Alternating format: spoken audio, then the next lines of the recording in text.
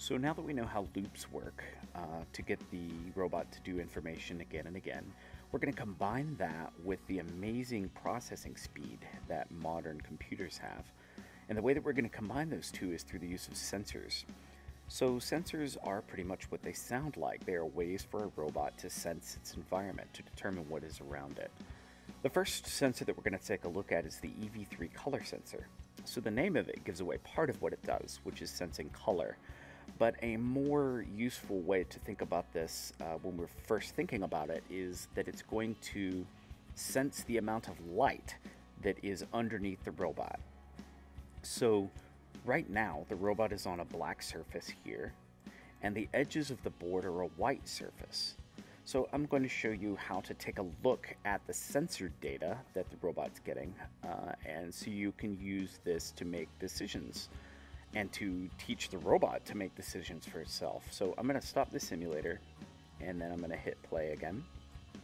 Now, I'm going to navigate uh, using the right click and left click buttons here uh, and up and down and center. Right? And I'm going to change the mode of this robot into port view.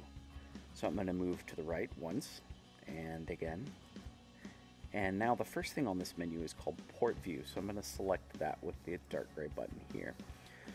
So Port View tells me that sensor number one is a color reflex sensor. It sees 17%. Now we're actually going to take a look at sensor number three, which is this left color sensor here. So I'm going to move over to it, and it is also seeing 17% light reflect. And what does that mean? So this sensor emits a light that hits whatever is underneath it and then the light bounces back. Now if it's a dark object, only a low percentage of that light reflects back. For instance, in this case, it's 17%. But if I move the robot over to the white area, you'll see that the percentage of light that's being reflected back goes up. So when the robot is over on the white edge, we're going to see a much higher number. So for instance, 67. Here you can see the red light that it's beaming down and 67% of that light is coming back. So when it's on a dark color, about 16%. When it's on light, 67%. We can use those values to help us make decisions, and I'll show you how to do that.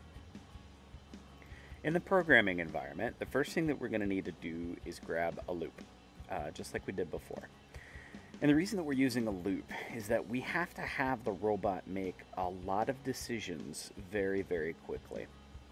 So if we go back to the software, what we're going to have the robot do is we want to drive around on this board, but we don't want the robot to fall off.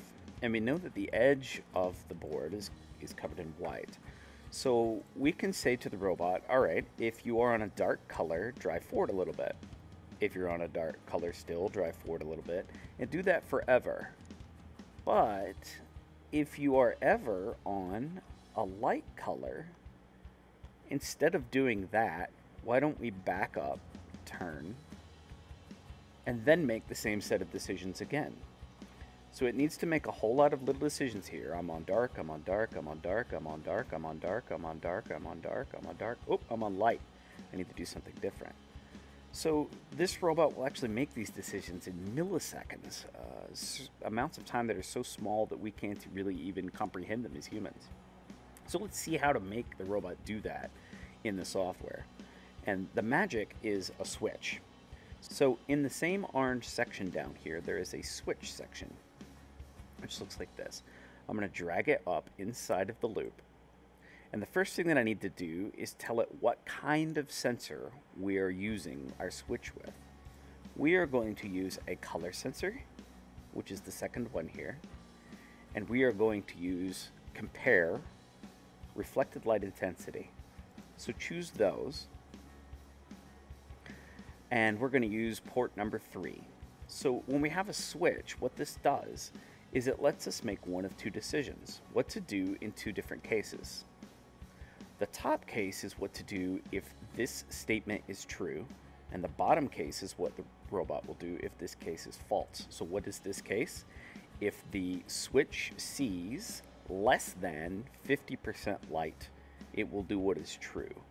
If it sees something else, it will do what is false. So what does less than 50% light look like? That means that it is on the dark section. So at 19%, that is less than 50% light. So what do we want the robot to do in this case? Drive forward. So that's what we're going to tell the robot to do. We're going to tell the robot to drive forward. We're going to do that in the same way that we did before with the drive steering block. So we're going to put that block here in the yes section. So what exactly do we want the robot to do? We want it to move, but we don't want it to move a rotation because it might go off the board if we select it to rotation.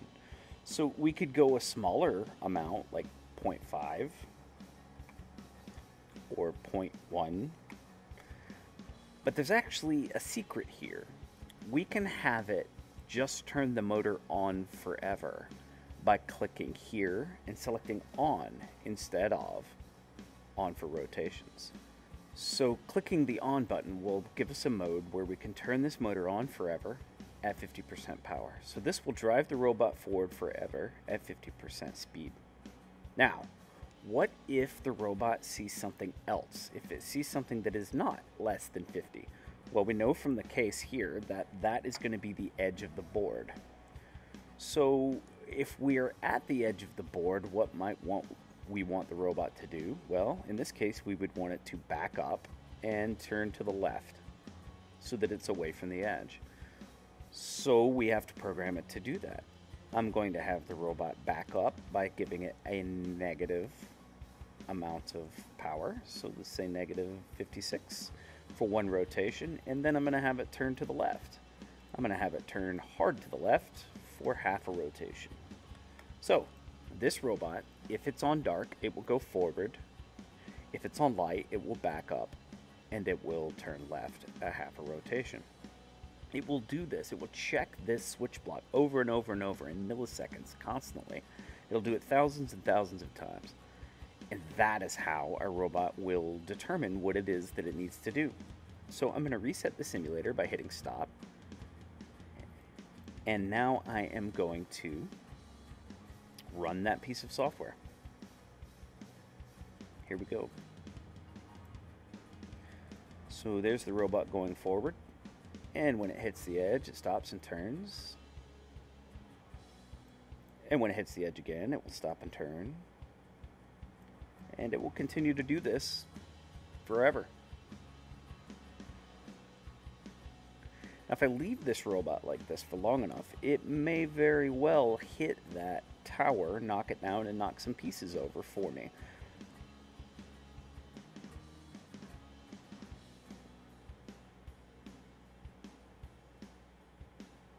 So a good way to program this robot might be to start the robot off at the beginning, have it push over the tower, and then go into that mode where it repeats the same process over and over again. How would I do that? Well, if I know I want it to do a slow left turn, I put it before this. So I'm going to create a left turn, let's say about three rotations at 50% power. Let's roll that see. Whoop, I turned too sharply. So instead of 24, I'm going to make that a 12, uh, negative 12 rather and I'm going to run that again.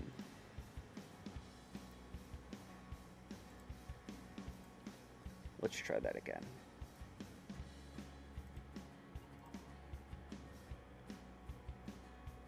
So there we go. We've pushed the block down and now that it is finished with that first drive, it is driving around using our algorithm that we wrote to have it avoid falling off the edge and it's pushing some blocks off.